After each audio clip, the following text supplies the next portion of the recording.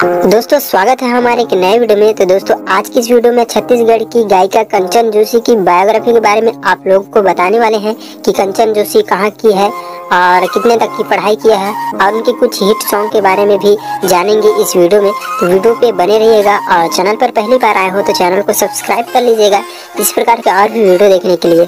तो चलिए वीडियो को करते हैं स्टार्ट। तो दोस्तों, कंचन जोशी रायगढ़ की है और बचपन से ही गाना गाने की शौक रखती थी कंचन जोशी। और बचपन में अपने बहने के साथ एक दो म्यूज़िक क्लास भी ज्वाइन किया था।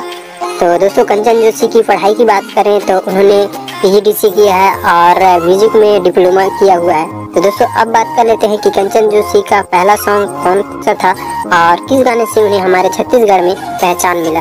तो उनका पहला सॉन्ग था तय शादी करवे और रायगढ़ वाले राजा सॉन्ग से उन्हें हमारे छत्तीसगढ़ में पहचान मिला है। तो दोस्तों, अब बात कर लेते हैं उनके हिट सॉन्ग के बारे में कि हिट सॉन्ग कौन कौन से हैं? तो उनका हिट सॉन्ग इस प्रकार से है, रायगढ़ वाला राजा ऊंचाई पान, रानी बस्तर वाली माया के मौसम रूप के जादू, ऐसे कई हिट सॉन्ग कंचन जोशी के हैं।